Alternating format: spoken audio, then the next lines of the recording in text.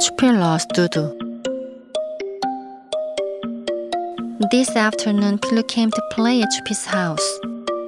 Choga choga choo choo, choga choga choo choo. The train enters the station. Pilu, let's get Doodoo on the train. Doodoo, where are you? Pilu, can you see Doodoo? No, I can't. Mommy, mommy! Doodoo is gone.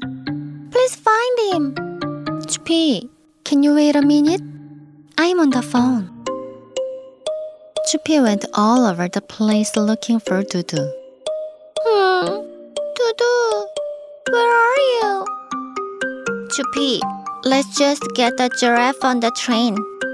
Pilu said, waiting. Chupi and Pilu played with the toy train again.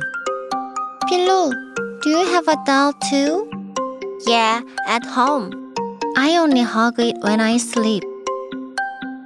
After the fun train game, Pilu went home. It was dinner time. Pani, you have to be careful. Then you will drop the doll into the bowl. Mom, I've been through the whole day without Doodoo. Am I all grown up now? Chupi said proudly. Oh, of course. It's time to sleep. 추피 told Dad.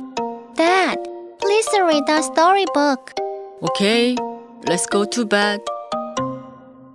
Oh, Doodoo was here. Daddy, Doodoo was hiding under the pillow.